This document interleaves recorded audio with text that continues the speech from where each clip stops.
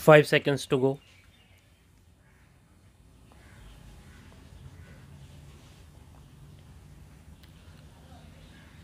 Start.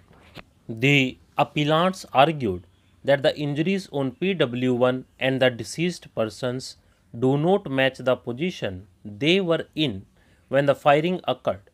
We will answer this with reference to the first as well as the second incident.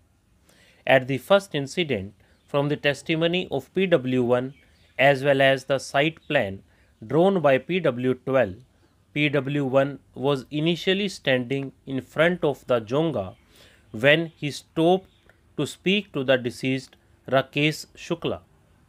While explaining that the site plan does not accurately describe Lallan's and his position, he categorically states that he moved to the right side, non-driver side of the Jonga when it was facing east to speak to the deceased Rakesh as there were people on the driver's side. We will quote this in his own words as this is of some importance. The Jonga had been stopped parked in the mid of the road. I was in front of the Jonga only when it was stopped there. I do not recall exactly if I was on the right side of the road. At that time, the Jonga was facing east. The east falls in the direction of my home. I moved to the Jonga at non-driver's side to speak to him. I had gone to my right side. There were a few people standing in the side of driver.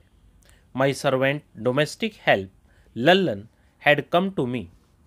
I had told the IO the fact that the Jonga was standing exactly in the mid of the road, but note that we were standing on the right side of the road. I do not know the reason why the LO had shown demarcated our location in the right side of the road but not in front of the Jonga. After the first incident, the Jonga was turned to proceed towards the hospital. On reaching the second spot near Parma Pandit's house, when the assailants again attacked, Rajesh got down from the Jonga with his rifle in an attempt to retaliate. At that point, he suffered multiple bullet injuries. Consistent with his stand, PW1 was behind the Jonga on the right side, which is the driver's side, and that is how he could take cover of the Jonga, but he could not escape a bullet injury on his leg.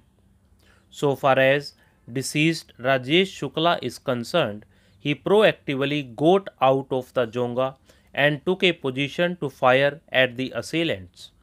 There is a clear distinction between the position taken by Rajesh on the one hand and PW1 on the other. There is therefore sufficient explanation for PW1 receiving not as many bullet injuries as the deceased Rajesh. We may also add that the submission made by the appellants is not based on any evidence but proceeds on a theory of probability.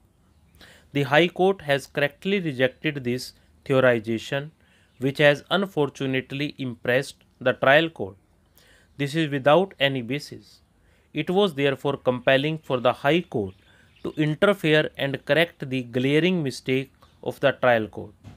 In a situation like this, when there is a group attack which lasted for only a few minutes, it is unreasonable to expect an eyewitness to recount each fact in mathematical detail. A recent decision of this court recounted a chaotic situation like this by reviewing the existing case laws on the subject. In Abdul Sayeed versus State of Maharashtra, this court held as under. In the instant case, a very large number of assailants attacked Chand Khan and Shabir, the deceased, caused injuries with deadly weapons to them. The incident stood concluded within few minutes.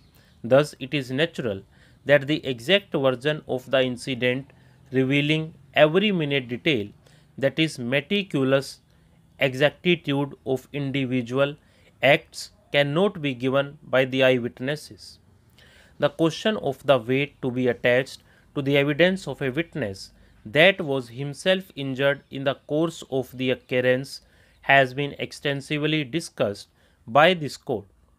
Where a witness to the occurrence has himself been injured in the incident, the testimony of such a witness is generally considered to be very reliable as he is a witness that comes with a bullet in guarantee of his presence at the scene of the crime and is unlikely to spare his actual assailants in order to falsely implicate someone. Convincing evidence is required to discredit an injured witness. Reiterating the same principle about the evidence of an injured witness, this court in Rajendra versus State of Karnataka held as under. This court has considered the minor contradictions in the testimony while appreciating the evidence in criminal trial. It is held in the said judgment that only contradictions in material particulars and not minor contradictions can be a ground to discredit the testimony of the witnesses. Stop.